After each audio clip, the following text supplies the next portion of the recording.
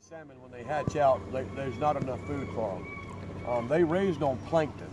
Now, pretty cool fact of life is that the only reason there's enough plankton in the creek when the babies are hatched out is because the plankton's really flourishing from eating the dead salmon. So by the parents dying, the young don't starve to death. Huh. Per- you know, because had the parents not died, the young would have starved to death.